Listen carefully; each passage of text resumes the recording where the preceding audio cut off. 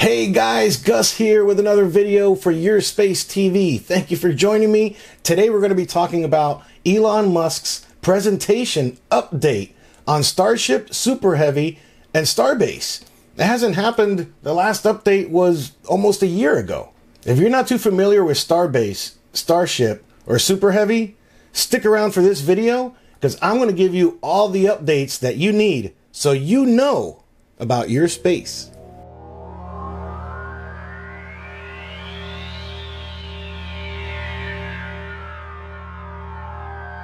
So for people like myself that follow Starship and Starbase and Super Heavy, I'm not sure if Elon Musk is really going to give that much of an update. But for people that really don't know about it, should get an update. They deserve one. And that's why I'm here talking to you now.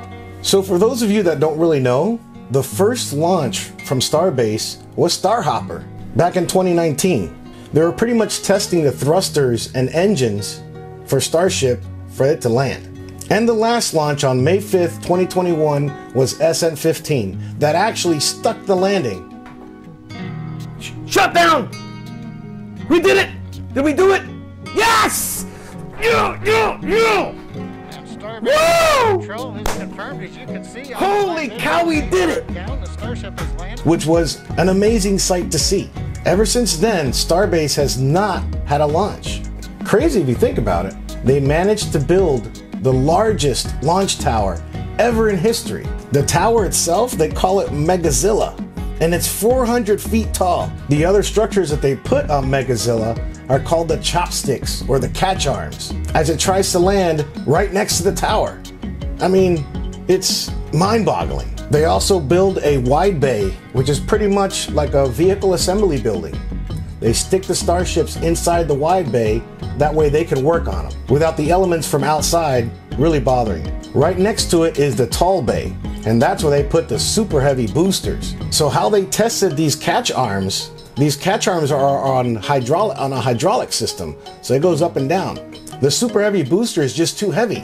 When it goes trying to land right next to the tower, the catch arms, if they don't move to give it that that flexibility, they could break the tower or break the booster. It's going to be amazing to see this thing in action. And of course, the beautiful Starship, 160 feet tall, it's almost the size of the space shuttle. It's got six Raptor engines, and three of them are vacuum engines. Those are the engines that you can be used in, up in space. The Super Heavy booster is 230 feet tall, and it's going to have 29 Raptor engines. 29! It's amazing to see it. These Raptor engines are also on gimbals, so it makes the engine move around depending about where they want to steer the booster as it's coming in for a landing. In the future, Elon Musk says that the Super Heavy is going to have 33 Raptor engines. But they're having issues with the Raptor engine now. They're having issues in the production line and they're having issues with other things. So as I speak, they're developing the Raptor 2,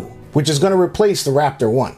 Now, the Raptor engines is not what the Falcon 9 rocket uses. The Falcon 9 uses a Merlin engine. And what's the difference between the Merlin engine and the Raptor engine? The Raptor engine is twice as powerful. SpaceX is constantly working on the Raptor engines to make it more efficient and produce the most thrust. Now, for Elon Musk's presentation, they're stacking the Super Heavy onto the platform and then putting a Starship on top. It hasn't happened since August, and they only did it pretty much for a photo op. Why are they doing it this time? Pretty much for a photo op. Elon Musk, when he does his speeches, loves an awesome background behind him. Makes it look nicer, you know? Doesn't it? Now, the first launch of Super Heavy is going to be insane. Supposedly, it's going to happen in April, but I hope that's exactly what Elon Musk is going to say in his presentation. The first launch is going to consist of lifting the Super Heavy and Starship into space. They're going to launch from Texas and they're going to land in Hawaii. Unfortunately, they're not going to be able to save or reuse the Super Heavy or Starship. They're both going to sink to the bottom of the ocean. But with all of the computers on board, they're going to be learning exactly step by step what the rocket did from liftoff to landing. And Elon Musk knows that failures make things perfect. Falcon 9 failed many times before they perfected it. So the Super Heavy that's going to be on the launch pad for the presentation, they give numbers to these boosters. But this booster is going to be Booster 4 and Starship 20. How funny. 420. Hey Elon, what do you got to say about that?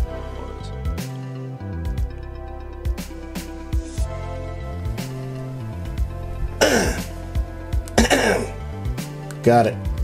But once Super Heavy has been tested to already land in Hawaii, they might have to do another test just to find out that everything's going to work properly to be able to stay in orbit. Their next step would be to have a Starship be a fueling station up in space. So, what I'm thinking is that they're going to launch a Starship to stay in orbit to be able to launch another Starship to dock with it, refuel it, so it could head to the moon. That is a test that is essential for us to get to the moon and get to Mars. Once Starship is up and running, Elon Musk said that there's going to be 12 Starship missions this year. The first one that's going to stay in orbit is probably going to have Starlink satellites. Hello, it's SpaceX. Right now, a Falcon 9 rocket that they've been launching left and right with Starlink only carries about 49 Starlink satellites a Starship is going to be able to carry 29,000 Starlink satellites. And if you don't know what Starlink is, you can check out my other video.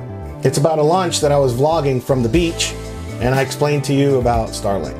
Now, going back to the pad itself, it's going to have 20 clamps holding the super heavy booster onto the launch pad. And then down at the bottom is going to have a quick disconnect. So as soon as the ignition happens, the disconnect will completely pull off. Once that quick disconnect releases, off it's gonna go into the blackness and death of space. Uh, quoting William Shatner. And you're looking into blackness, into black ugliness, and there is, is there death? I don't know. Is that death? Is that the way death is? Starbase is a private rocket production facility and test site at Boca Chica, Texas. Back in 2018, Elon Musk said that he was going to build starships. So he got permission to use Boca Chica as his construction facility. In my opinion, the reason why I think the FAA is giving Elon Musk a hard time in SpaceX is because when he arrived at Starbase, he was getting permission to launch starships, which is pretty much the size of the space shuttle, like I said before. There was a time there that there was about two launches a month. And now with Starship practically done with just one landing, now Elon Musk needs to get permission from the FAA to launch a Super Heavy, and the FAA weren't really ready for that. Six Raptor engines compared to 29 Raptor engines is completely different. There's a lot of turtles, it's a bird sanctuary, and there's a couple of houses that some windows are going to be blown out when this thing goes up. But without the FAA's approval, it's not going anywhere. So hopefully Elon Musk will give us an update during his presentation about the FAA and when is Super Heavy actually going to launch? Let me know down in the comments what do you think? What do you think the presentation is going to be about? And what do you think about the FAA allowing Elon Musk to launch Super Heavy? I just want to give a quick shout out to the people that are working at Starbase now. I appreciate all the hard work you guys do. 10, 12 hour days sometimes. Out there, rain or shine, you guys are out there kicking butt. And I thank you guys for that. Because of you, SpaceX is going to change humanity. You all deserve to be mentioned. Thank you. So hopefully you guys tune in to Elon Musk's presentation and I'll catch you on the next video.